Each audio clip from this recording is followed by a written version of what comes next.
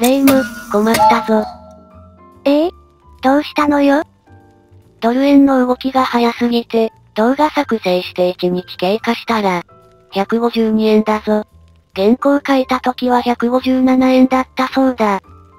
まあ、動画投稿には編集作業があるから数日のタイムラグが発生するのは仕方がないと言えばそうなのだけど。でも、大丈夫よ。マリサ。ええ？何がだ？ウォンは大して変わってないわ。なんだって円高になればウォン高になるんじゃないのか。うーん。本当、わからないわね。では、記事のタイトルを読むわよ。韓国望まない失職123万7千人。最も増えたのは40から50代。では、記事のツッコミを読むわよ。韓国、なんだろうな。輸出は回復してきたから韓国経済は青信号だと、韓国政府が述べているのに、対して、出てくるデータはどれもリーマンや、通貨危機レベルのひどさでしかない。特に韓国の内需の状況は政府の言う青信号というより、どう見ても赤信号なんだよな。昨年の自営業者の倒産は100万件に迫り、青年層などの若者にはろくな仕事がない。400万人がただのニートとなるのは若者の意識の問題もあるのだが、もちろん、希望する職種の雇用が少ないことが挙げられる。雇用が少ないのということは高金利、高物価で内需が低迷しているからである。でも、韓国の失業率はアメリカより素晴らしいのだ。なんと2.9%だ。つまり、理論上では完全雇用を達成している。それなのに若者にはまともな仕事がない。一体、どうなっているんだよと思うかもしれないが、これには二つの大きなからくりがある。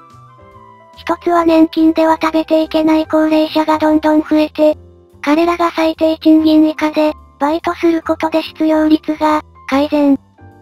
ムンジェイン前大統領時代から始まった公園のゴミ拾い、山火事監視員、大学の電気消し忘れなどという生産性が、皆無のボランティアレベルの活動を雇用にしたことでの改善したことも追記しておこう。つまり、政府が高齢者の票欲しさと、社会問題化に対応して、税金で高齢者を雇用したわけだ。それがユン政権でも未だに、続いているという。では、二つ目は何か。それは韓国の失業率の、カウントである。韓国では一週間に、1時間働けば失業者ではないのだ。はぁ、あ、何言ってるんだよ。そんなの嘘だろうと思うかもしれないが、これも本当だ。いやいや、さすがにこんなデタラメな発言を、信じるわけにはいかない。適当なこと言うんじゃないと、普通の日本人は思うかもしれないが、それが真実だと立証するソースが、古いものではなく、最新ニュースから出てきたんだよな。しかも、中央日報だ。では、それを見ていく。大学卒業後、2年にわたり就職活動をしているキムさん28は、生活費を稼ぐために月、水、金曜日の午前9から12時にアルバイトをしている。上半期には10社以上に書類を送ったが、最終合格できなかった。キムさんは望みを低くしなければならないようだが、大企業への就職に対する未練を捨てられずにいる。下半期も失敗すれば大学院に進学するつもりと話した。最近雇用率が過去最高水準を継続しているが、青年層を中心にした就職市場では、雇用の訓風を体感しにくいという声が出ている。統計上ではキムさんのようなアルバイト生も、就業者に分類して、雇用に作詞が現れている上に、仕事を見つけると言っても良質の雇用より、単純労働、低賃金雇用が増加しているからだ。だがここには就業者統計方式の盲点がある。雇用率は15歳以上の人口非就業者数で集計されるが、統計庁は調査を進めた週に収入目的で1時間以上働いたすべての人を就業者に分類するためだ。キムさんの場合も自らは就職活動生と考えているが、統計上では、就業者に分類される。いわゆるギグワーカーと呼ばれる超短期労働者が増加している点も、雇用作詞を拡大する要因に挙げられる。ギグワーカーは短期雇用のギグと労働者を意味するワーカーの合成語で、配達ライダーのように職場に縛られず短時間の様々な仕事をする臨時労働者を言う。統計庁によると先月1週間あたり15時間未満の仕事をした。超短時間労働者は170万1000人で、同月基準で過去最大を記録した。全就業者に占める割合は2019年6月の4.9%から先月は5.9%に増えている。韓国政府の公共雇用事業増加によって、高齢層が短期雇用増加を牽引した側面があるが、20から30代の間でも増加傾向を見せている。統計庁のマイクロデータ分析によると、先月の20から30代の超短時間労働者は、約40万人で、コロナ禍当時の2021年6月に、41万人を記録してから2番目に、多かった。中央大学社会学科の、イ・ビョンフン名誉教授は、最低賃金と週休手当、引き上げで、短時間バイトの採用が、増え、就職準備が長期化し生計維持のため、短期の仕事を探す人が、増えた点をこうした変化の背景に挙げた。雇用作詞が大きくなったまた別の要因としては、単純労働、低賃金中心の、いわゆるスモールジョブが増えた点が挙げられる。2014年と昨年の統計庁の地域別雇用調査結果を比較すると、食用体分類9種類のうち最も大幅に増加したのはサービス従事者で、283万3000人から349万9000人に23.5%増えた。これら職群の中では高齢層がほとんどを占める介護、保険関連従事者が75万8000人から115万1000人に51.8%増え増加幅が最も大きかった。単純労務従事者も10年間で19.5%増えた。ニュースは以上。中央日報の日本語版の記事なら、韓国語を Google 先生で翻訳したわけでもない。だから、翻訳が間違えているという言い訳もできない。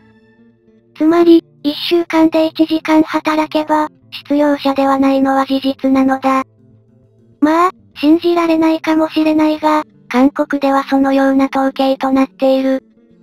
それで完全雇用達成とか言われて、韓国政府は雇用が絶好調だと、毎回、述べるのだ。これで日本と比較して韓国は失業率が、低いとか自慢するのだから笑うしかないという。一週間で1時間働いて、食べていけるような連中なんてわずかだろうに。雇用率は15歳以上の人口非収容者数で集計されるが、統計庁は調査を進めた週に収入目的で、1時間以上働いたすべての人を収容者に分類するためだ。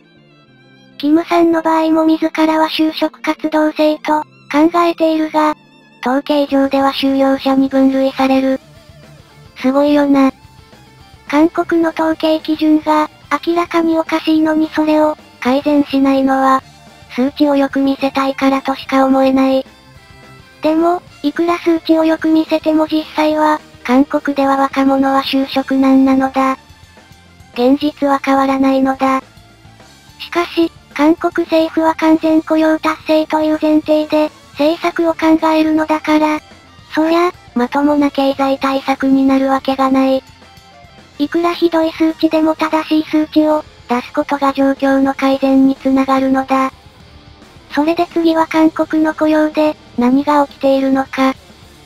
それは最低賃金や物価の上昇の問題だけではなく、雇用制度にもある。文章にも書いてあるが、韓国では1週間で同じ職場で、15時間働くと週休手当がついて、1日分、多めに給料を払わないといけない。だが、これを避けるために雇用者は短時間しか、雇わなくなった。それが超短期労働者を爆増させている。いわゆるギグワーカーと呼ばれる超短期労働者が、増加している点も、雇用作詞を拡大する要因に、挙げられる。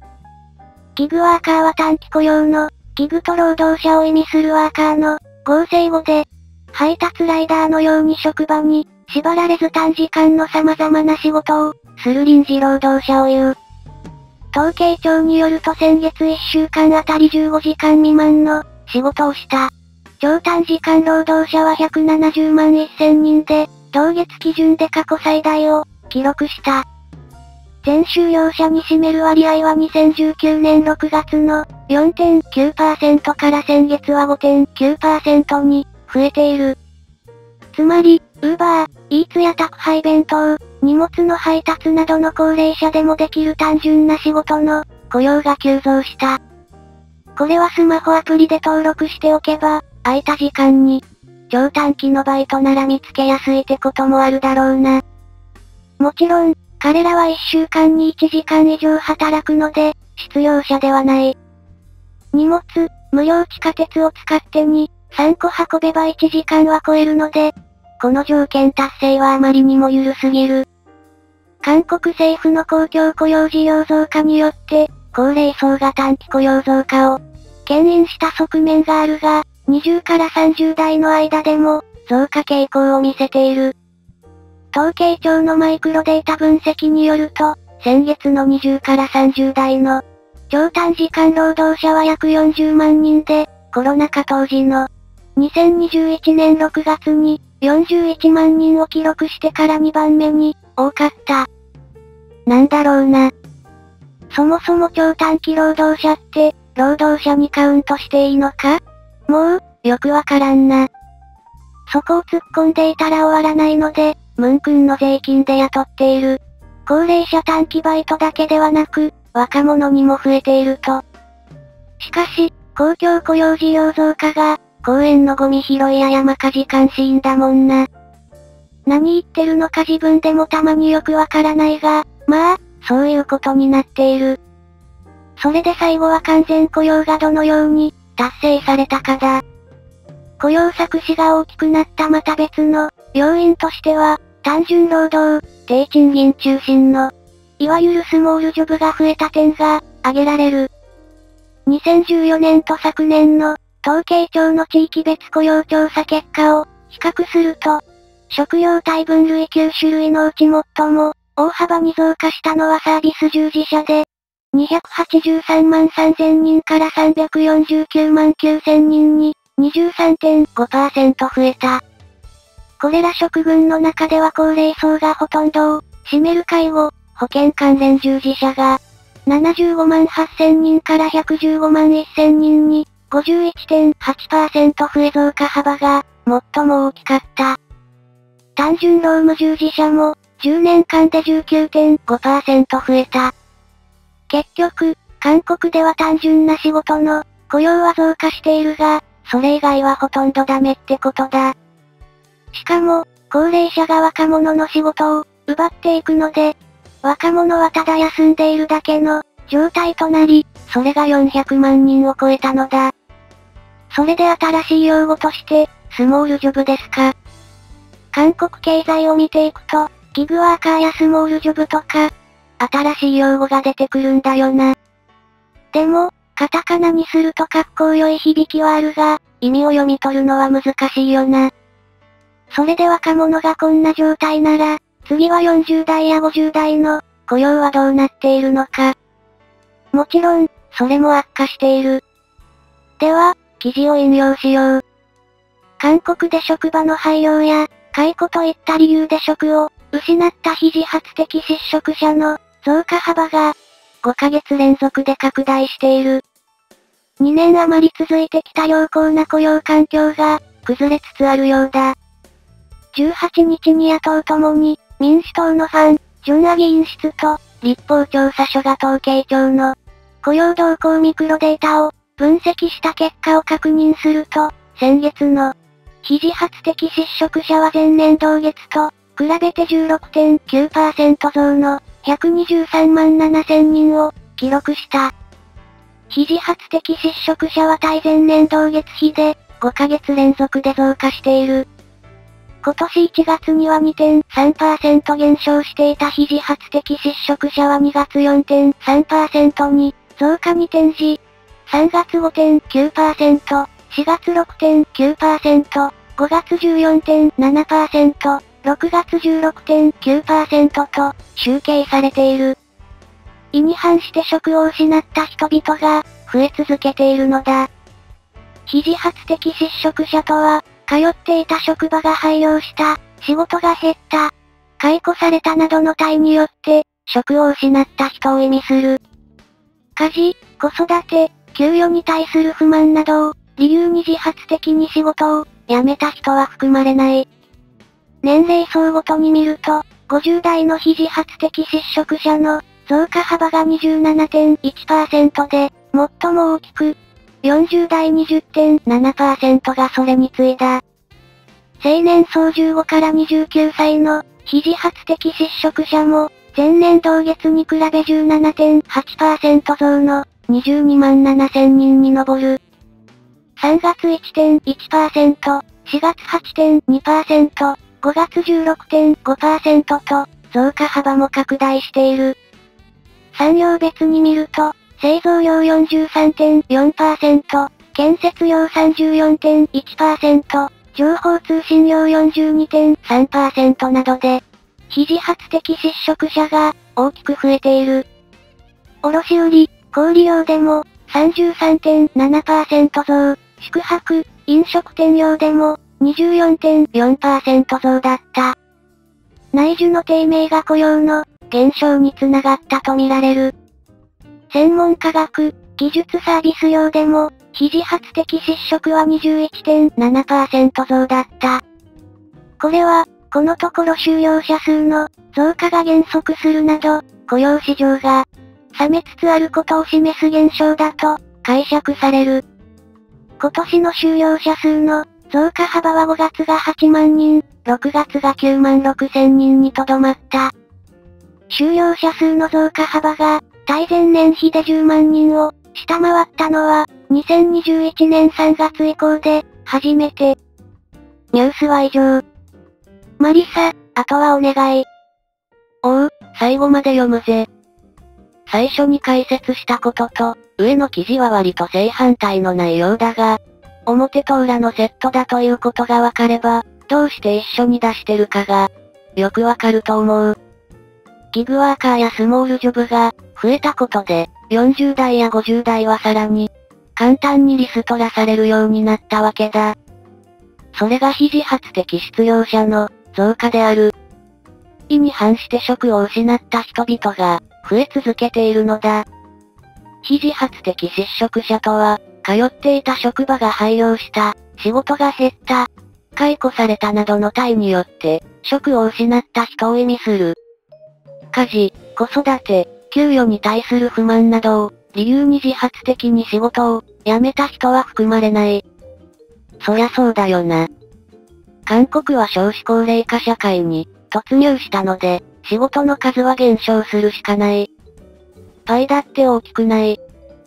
その少ないパイを分担していくのだから、超短期労働者が増えるなら、普通の雇用はどんどん失われていく。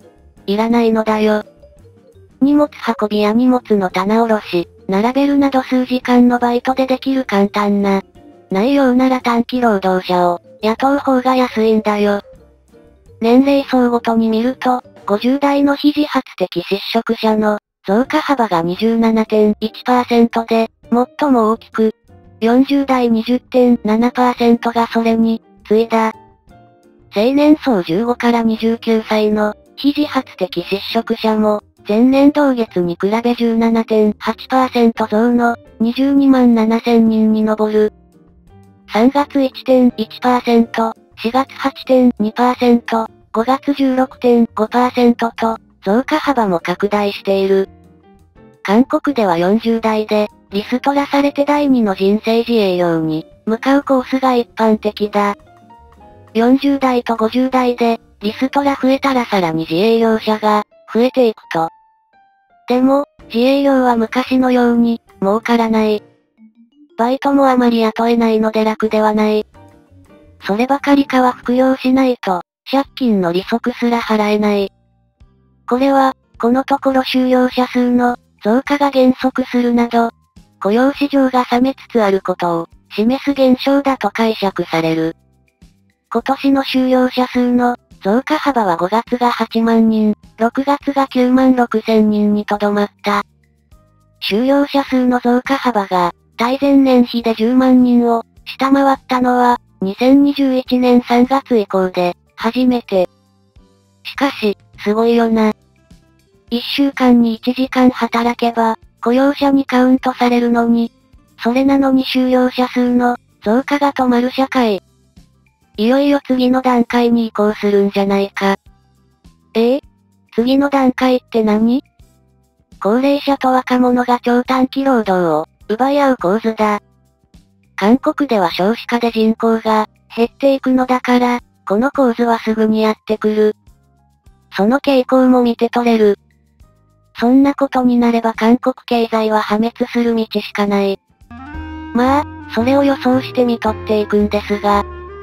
じゃあ、週休手当を、やめればいいと思うだろう？甘いな。なぜなら、週休手当こそ、韓国を牛耳る労働貴族の特権で作られたものだ。彼らは週休手当で1日分、給料を余分にもらえるのだ。そんな特権を手放すわけないだろうに。ニュースは以上。レイム。これはひどいな。なんだよ1週間に1時間で、収容者って。あまり、日本人には信じられてないのだけど、本当なのよね。ソースは古かったから、これで最新のソースとして、使えるわ。だから、韓国の失業率なんて、低くて当たり前なのよ。でも、現実は若者にはまともな仕事はない。40代、50代はリストラの、嵐。これが韓国経済のリアルよ。といったところで今回はおしまい。ご視聴ありがとうございます。次の動画も見てくださいね。チャンネル登録よろしくだぜ。それでは次回。バイバイ。